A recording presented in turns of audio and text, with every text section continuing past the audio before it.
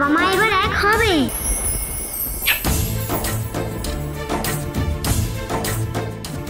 সূর্য আপনি জানেন দীপান্বিতা মজুমদারের আগে বিয়ে হয়ে গেছিল?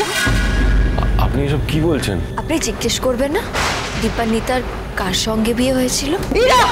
কি হলো দীপান্বিতা? আমি কি মিথ্যে কথা বলছি? হ্যাঁ বলছো। লাবণ্য সেনগুপ্ত? এখানে এখন এ তো সব খেটে দিতে পারে। উনি তো এই সময় লাবণ্যসে থাকেন। আজ বাড়িতে? Oh god!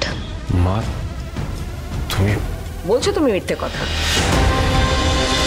অনুরাগীর ছোঁয়া। সোম থেকে রবি রাত সাড়ে নটায়। স্টার জলসায়।